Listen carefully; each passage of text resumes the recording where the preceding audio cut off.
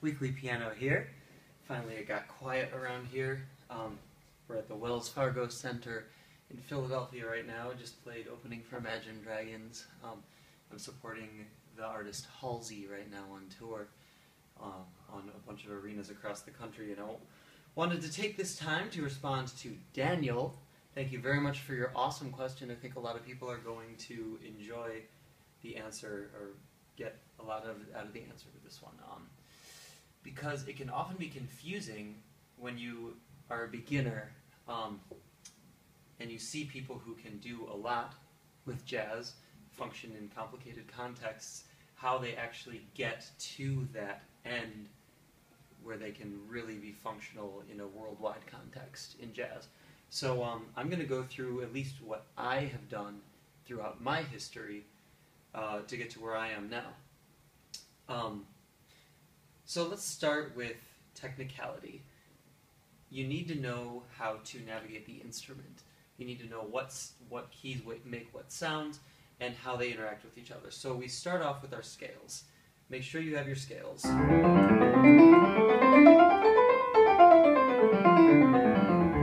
I'll do them quickly and all the keys just just so you see like so you can get the fingering really really quickly if you want to like really nitpick on the video.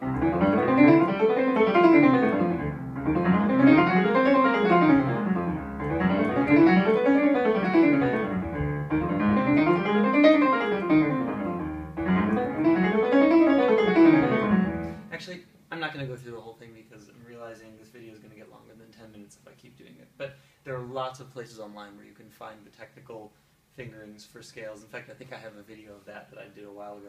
Um, okay, so get your scales. Um, get your hand placement. Hand placement is very, very important. You do not want to have tense hands. You want to have a very relaxed hand and let it rest basically right above the keys. And your fingers should be working in contrary motion. So let your thumb fall and then you lift your thumb up when your next finger goes. Lift that finger up when the next finger goes down, but it's just like wiggling your fingers basically. Um, you don't want to ever be like like you see Keith Jarrett doing it, and I mean, you know, he's one of the best pianists in the world, but I would not recommend playing like that because you'll destroy your hands and have all sorts of physical problems. Um, uh, yeah, so anyway, uh, do some other exercises like Beringer. There's a there, there's Beringer exercises. I think they're. I don't think it's Behringer like the other guy, but I think it's Beringer. And I, I I'll make a download link in the description of this video for you to get those exercises because I actually have them. But they are like.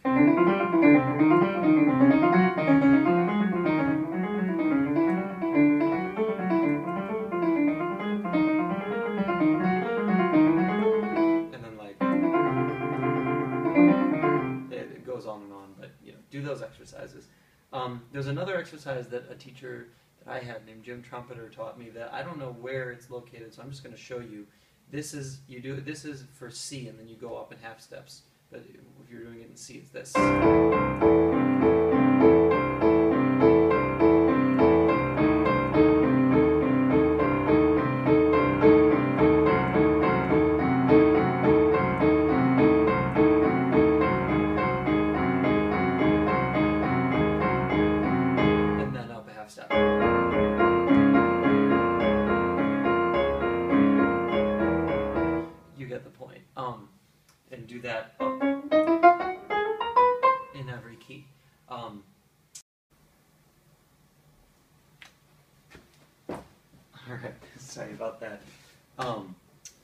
Cut out, having some space issues on my iPhone. I adjusted the camera angle also, so this should be a little bit better. Um, anyway, we were just finishing the Trompeter, the Jim Trompeter's exercise, so now there's another thing that, um, it, it's an exercise for the using the thumb and, and interacting with the other fingers correctly. Um, and it's an exercise that Herbie Hancock showed me, so I do it every day. Figure if Herbie does it, it's definitely worth all of us doing every day. Um, so it, it, just goes like this: you you have your you pick the uh, one note. I start on C for the thumb, and then you do half steps surrounding it with the first finger.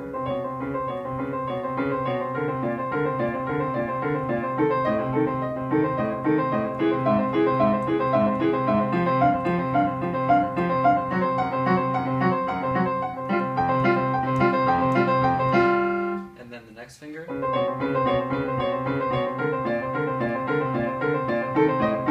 So on and so forth, like then the next finger. Um, and then you move it up a half step and up a half step and up a half step. It takes way too much time if you try to go through all of the um, all the tones, all, all the half steps. But I would recommend doing like 10 minutes of that one. I, I usually do about 10 minutes of that, five, between 5 and 10 minutes of that every day. Um, and then, oh, by the way, when you're doing all these exercises, make sure you're using a metronome and make sure you're keeping very precise time. You want to be feeling the time along with the metronome and not relying on the metronome, but developing that inner pulse so that you develop a good sense of time, which is so important to the stuff we're about to get into.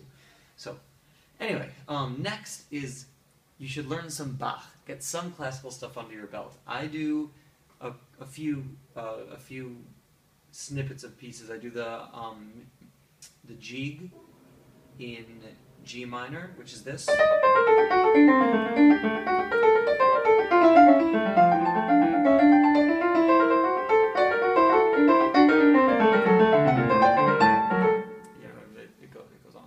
Um, and then I do the minuet in C minor.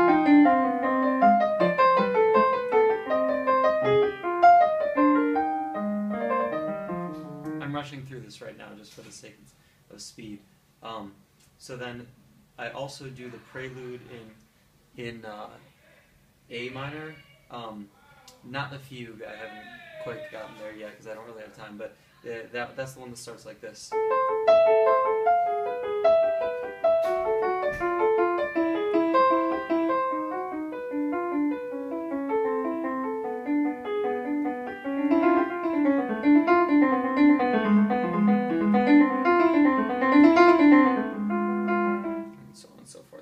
Get you the catalog numbers if you want, um, but message me if you actually want them.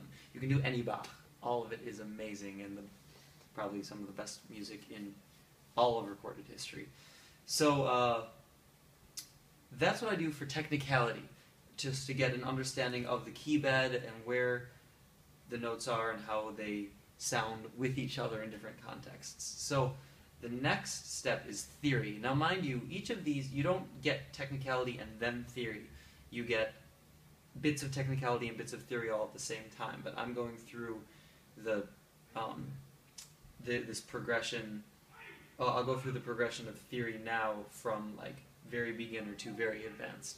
So, first, get all of your um, all the modes. So you, we have our major mode I showed you earlier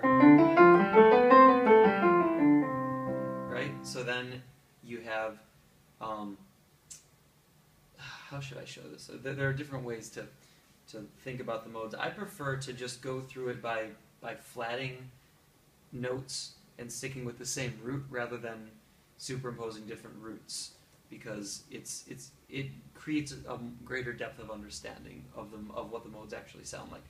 Um, so that's C major. Um, C. Uh,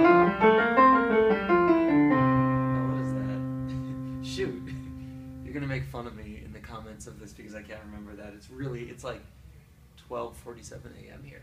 Anyway, so oh, Lydian, that's it. Duh, it's Lydian. Mixolydian.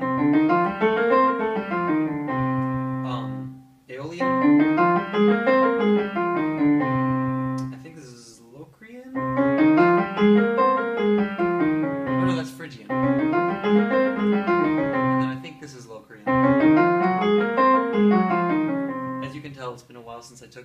Class. I've just been using all those modes, but not naming them. So um, I'm sure people in the comments will be able to correct me and chastise me for not knowing that. So please do. Uh, so learn all of those and play them in four octaves in all the keys. So you're doing.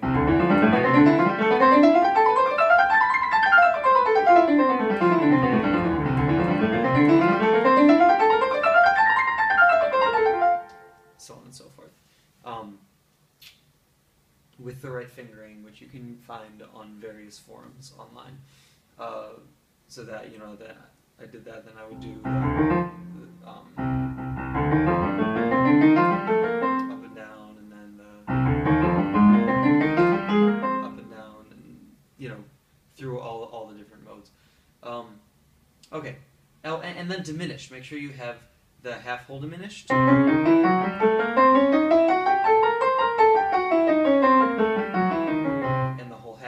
Half diminished.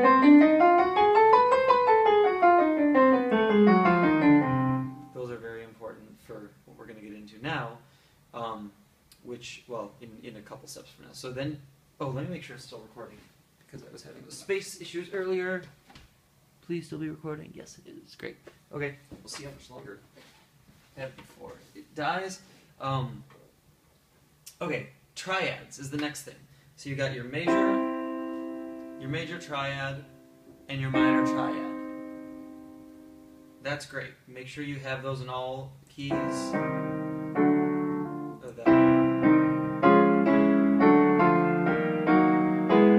Like if somebody says play an A minor triad, make sure you can go right there and play it. Um, then extensions. So you have one, three, five to create the triad, right? And then you extend it and you do one, three, five, seven. Um, because you one, two, three, four, five, six, seven, and it goes in. Um, you skip a note for every when you're creating these these, these patterns. Um, so so then you're in C and you have one, three, five, seven, the major seven. Now you have a bunch of different combinations because you can do your Lydian scale, which gives a dominant seven. You can do your minor scale, which gives a minor seven. You can do your um, Jesus Locrian scale. uh, uh, I think that's what it's called, uh, which gives you a half diminished seven, and you can do your diminished scale, which gives you a diminished seven. So make sure you know all of those in all of the keys. Um, learning classical music helps with this too because that's all about that. Um, the next extension is the nine. So you have one, two, three, four, five, six, seven, eight, nine. Okay? So now you have a bunch of different combinations. You have your dominant seven with the nine, so it's a dominant nine chord. And this is where it gets kind of cool because, um, well, I'll show you later what leads. Well, no, I'll show you now. Okay, dominant seven leads to, if you're in C, it leads to five below. C dominant seven leads to F major. That's the circle of fifths, which you should know. Um, so it's basically just down in fifths. But if you, I can't go all the way down, so it's.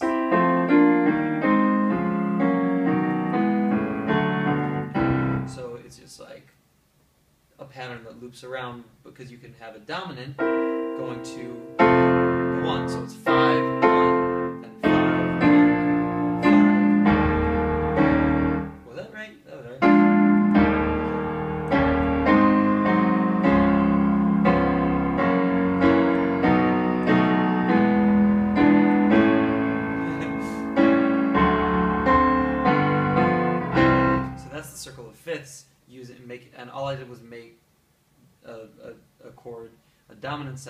So now going to the nine, you have your dominant nine that leads to the, the that essentially is the five leading to the one.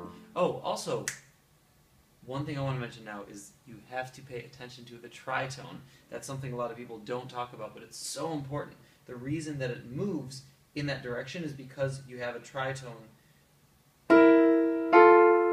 So a tritone is three whole steps. One, two, three. That's your tritone in C.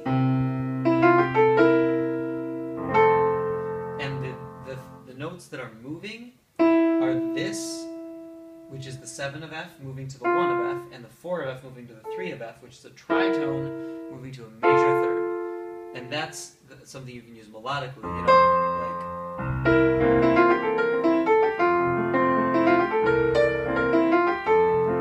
You know, that leads there and that leads there. Always think of that. It's so important. Um, okay, so now we got the 9. 1, 3, 5, 7, 9.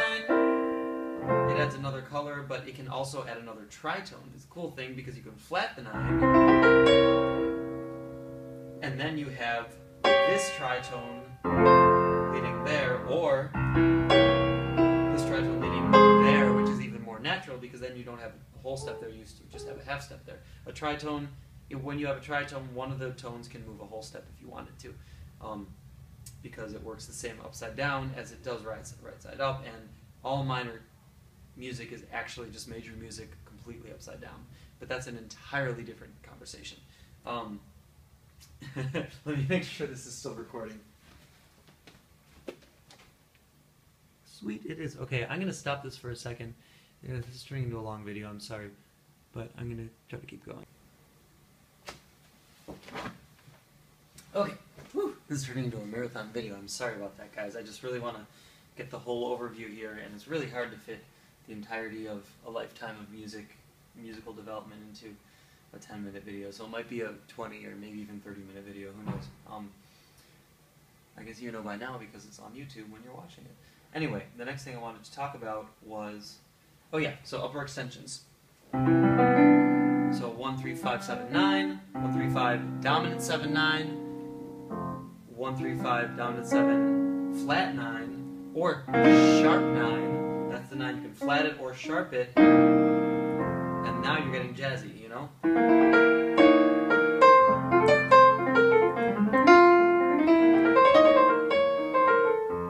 You know, that's, um, now, now you start to hear that. Okay, so those are extensions. You can now go all the way up to the 11 and the 13.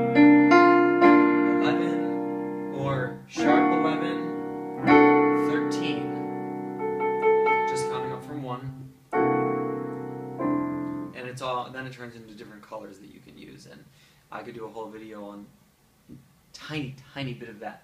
Um, so let's go on to uh, 251. So now that you've got that, you have the ability to do a minor chord, let's do D minor, to a dominant chord, let's what let's so okay D minor to a dominant chord five steps below it to a major chord five steps below that going around the circle of fifths from minor to dominant to major. That's the foundation of well music in general but especially jazz. So you have minor dominant major and then you can go to the sixth which is just putting you back around the circle a little bit because then you go that's dominant minor, dominant major, um, all going down in fifths. Master that, um, and recognize where the tritone is leading in all of that. Um, okay, let's see what's next. Um, okay, vocabulary in the two five one. I'm attaching a sheet of a. It, this is this sheet is like gold to a jazz musician. You should sleep with this sheet under your pillow so that you can siphon it into your brain if you are crazy and believe in things that don't actually happen. Um, but at least practice it. So this is your minor chord. This is one of the one of the things on the sheet. So that's a two five one lick And you'll notice it's doing a lot of things with upper extensions. In the D minor, it's doing the 9 to the 11 to the 9, up the chord pattern to back to the 11, and then leading to the sharp 5, or the flat 13, however you want to think about it, of the dominant, which is G, going over the sharp 9 and the flat 9 to the 5 of C, which is the 1. And get that in all the keys. Done this verbatim, but so.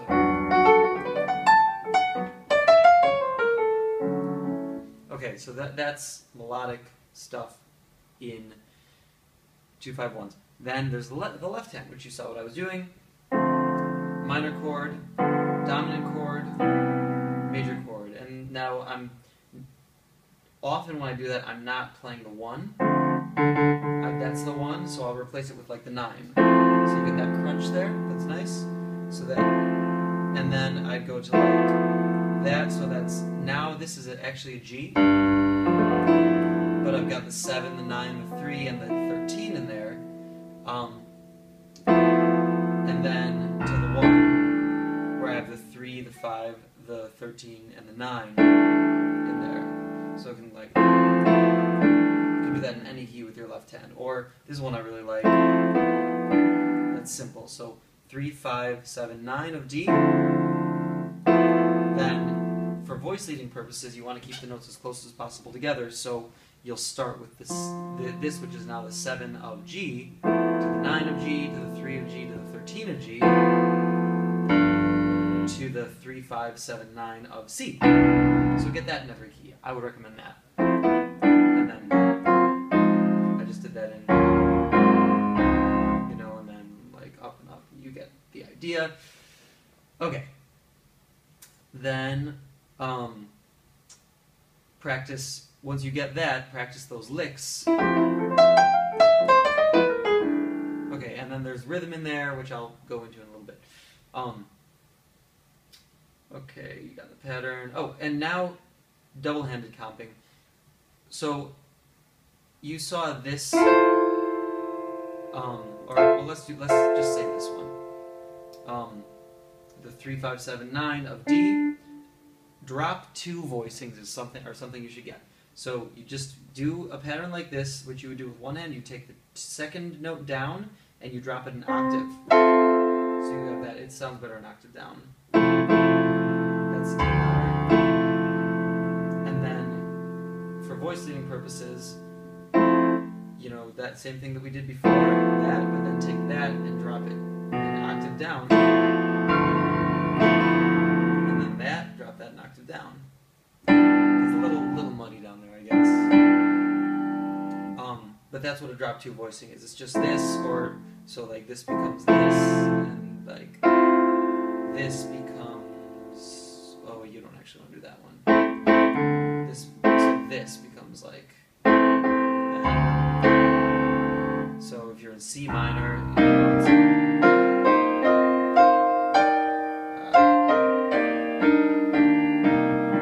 that's all just like doing a comping pattern like that, dropping that, dropping the second voice down an, an octave. Um, okay, that's drop two. You should get that. Next is what? I wrote a few notes to myself over on my computer over there. Um, okay, so yeah, that's that's the basics of jazz theory. I know there's a lot more, but that's like the basic basic stuff. So now we get into another level of it, which there are three elements to actually making music within a context of jazz, and not just playing a bunch of vocabulary. There's melody, there's rhythm, and there's harmony. Ta-da! So that trifecta, which I'm not going to draw a pie chart for you right now, um, they would all be equal slices of the pie. Melody, to learn that, learn a bunch of tunes. I'm also attaching a list of tunes that you should know that my old teacher, Chip Stephens, gave to me. Um, it's got Girl from Ipanema, Blue Bossa, um, some blues, some like Oleo, a bunch of different, like, I mean, some rhythm changes tunes. Oleo is a rhythm changes tune. Um, yeah. So that is how you can learn melodies by learning those tunes and learn a few of them in all the keys. It's really, really helpful. Um, you know, so like.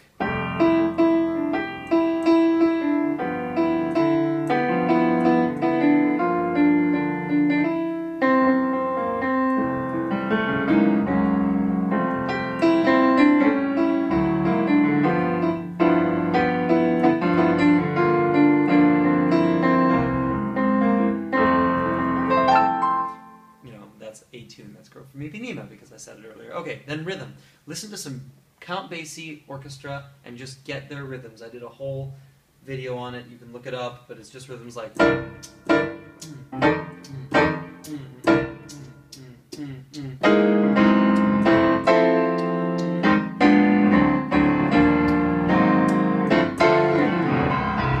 know, that's like all that big band stuff. Just get big band rhythms. Get some bossa nova, and actually study a little bit of real bossa nova. People fake it all the time, but you really have to emphasize the two.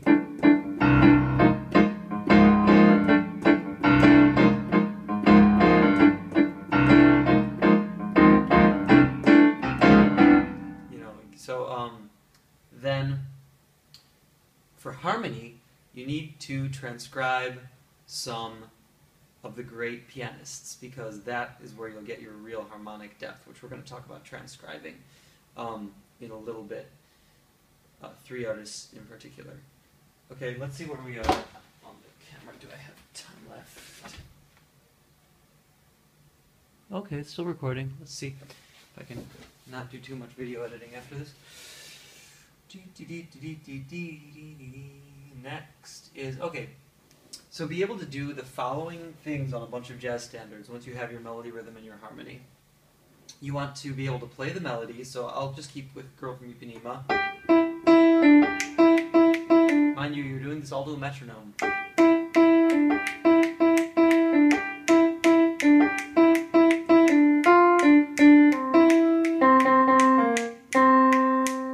Um, play along with the Jobim recording. It's actually really fun and it's so beautiful. So, so beautiful. Um, so do that. You want to be able to comp with both hands. So be able to do like. I'm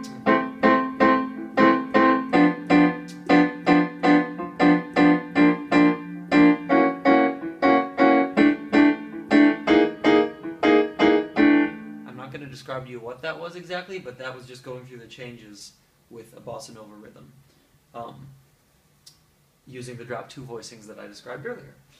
Uh, you want to be able to play the melody and comp, so.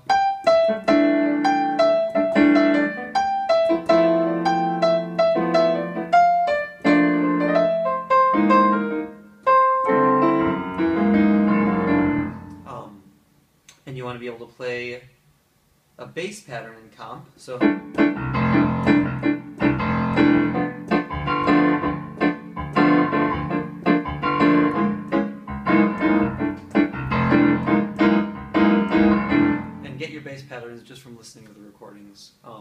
Of anything. Use bassists. You want to play the. I haven't played the melody in comp. I said that. Um, oh, and play the melody in the bass line. So if you if you can like, you really want to get into it, do all of it at the same time, like like.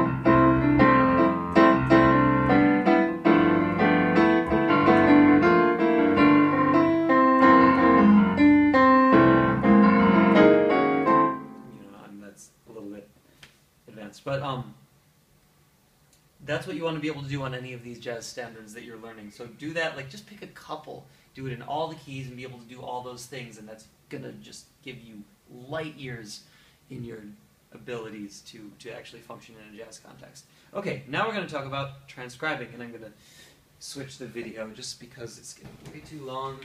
And um, come in. And Oh, somebody wants to come in anyway. It's okay. Come on in. Whew. Okay, hopefully this will be the last video, but I had time to snack on some Hello Panda. I swear I'm not endorsed by them. I really wish I was. Um, I don't think they endorse pianists. I don't see why they would. Uh, okay.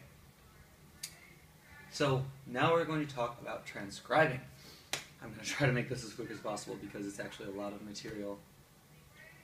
There are three pianists that I would highly recommend studying in depth. One is Oscar Peterson, one is McCoy Tyner, and one is Herbie Hancock. They are three of the most influential pianists. There are other ones, but you can get the most, I think, out of these specific three because they encompass a lot of the other ones as well.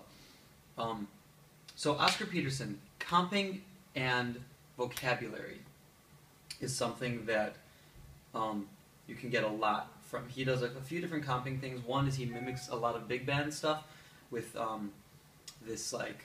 There's one thing that he does. Um, like scaling up through um, using pentatonic major to diminished, pentatonic major to diminished.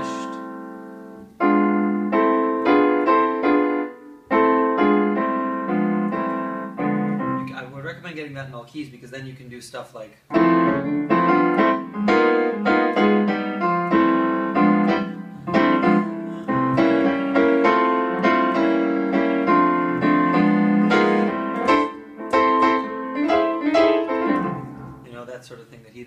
Um, then there's the uh, drop two voicings that he did. I already described all that, so I would definitely do that. Vocabulary you can get a lot from the bebop list, the list of bebop licks that I gave you. That one that I showed you.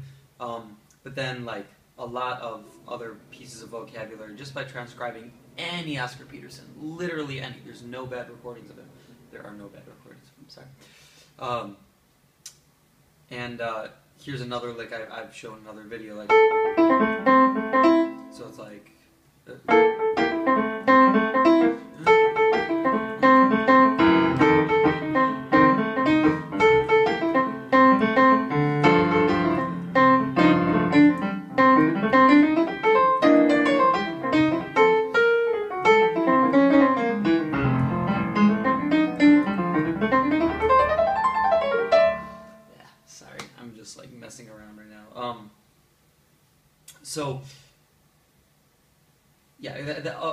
brings me also to his time feel. Time and swing feel is the most important with uh, Oscar Peterson because the way that he felt swing was so precise and perfect that um, it's pretty much unmatched by any other pianist. So play along to his recordings. Try to get that like.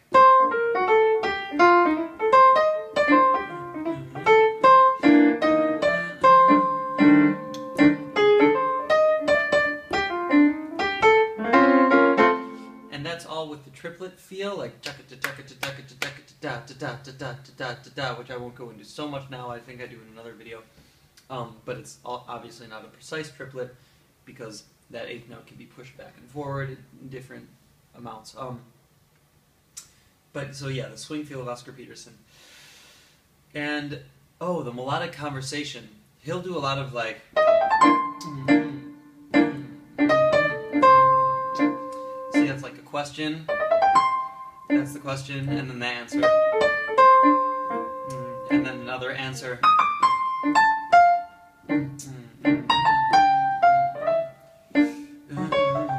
Question. Question. Answer. He'll like give this question and answer vibe. Um, and uh,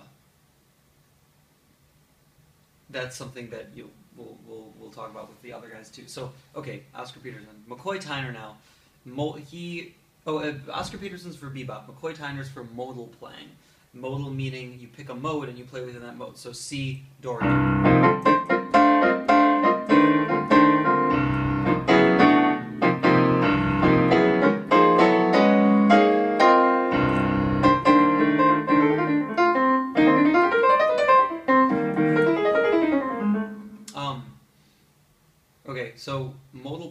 The, you you really can't pick up his vocabulary unless you actually learn some of it. So I have attached a I've, I've attached a sheet that my old piano teacher gave to me um, that has uh, some McCoy Tyner licks on it. So just learn those. I don't remember what they are specifically right now, but it's like a lot of a lot of pentatonic stuff. Um, and then how he uses that. So once you learn that vocabulary, it's harmonic development, and this is where we begin to learn playing outside the changes, which is really cool. So you'll have like a question and answer, right? So that's a question and answer, um, and maybe another answer. So, so let's see. Uh, So question,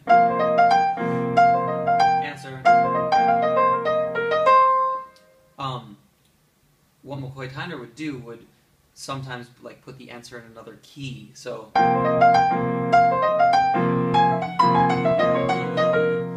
So you have that question and answer, but it distorts it in this weird, interesting way, and he uses that to develop by keeping track of where he goes with the keys. And it originally started just by uh, by uh, superimposing tritone, uh, the the uh, the two five one, in a different way that hit a lot of the outside chord tones, uh, the extensions of the five to the one. But then it turned into actually moving all around, like.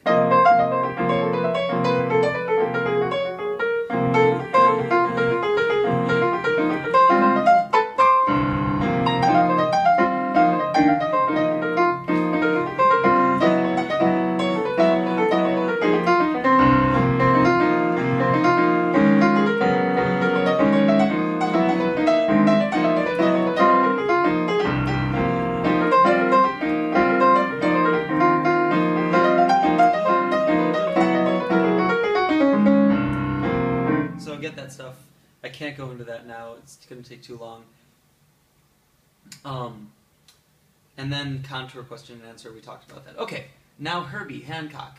Definitely transcribe Herbie. Early and late. I would transcribe the solo from If I Were a Bell live at the Plugged Nickel in Miles Davis's group. Because um, that has his original bebop feel, but then you want to get later, so transcribe the solo from Chameleon or Actual Proof, I would recommend if you really want to get advanced. Um, a couple little things is comping. He would do left hand comping, like C, let's say it was C sus. He would like do the normal left hand comping as though you're soloing and then augment it with something on the right. Um, by hello. Sorry, sorry. It's all good. So he would augment it by something in the right hand side of um of uh sorry band adventures going on with other band members. Uh, that that would mimic what a big band would do. So like he would give an octave and then a little chord tone in between, like a third or a fifth. Recognize that?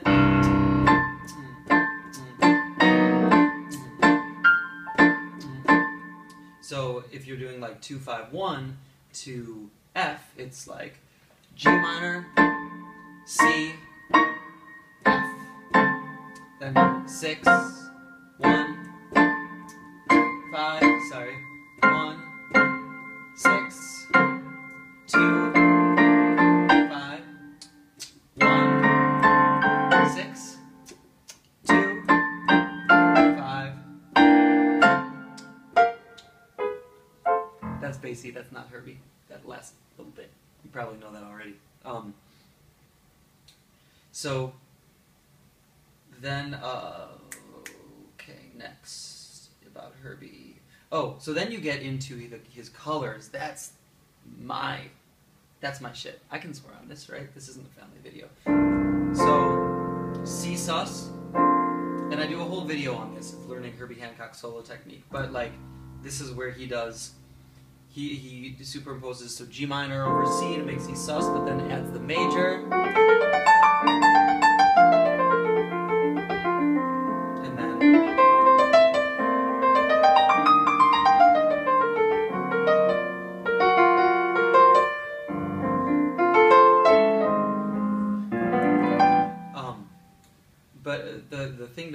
Is that it's always different types of major or minor chords that are superimposed so like you can pick C major, you're in C major, but then so maybe you put an A flat triad over it.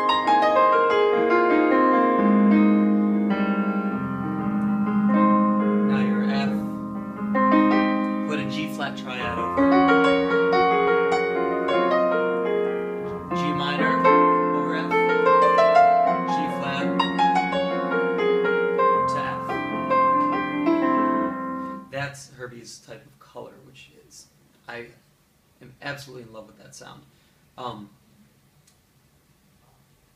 and that you can use that color when you're soloing too, which is like, you know, so I would do a two in let's say we're in C minor.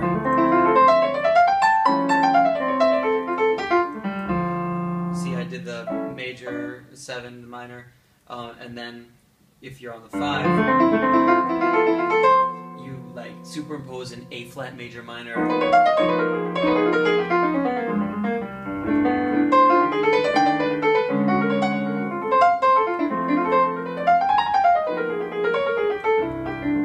You know, that's that sound. That's that Herbie sound.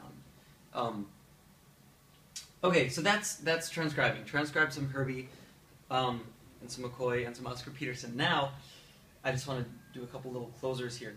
To get fast, to play fast like I play, um, and I still wish I played faster. Uh,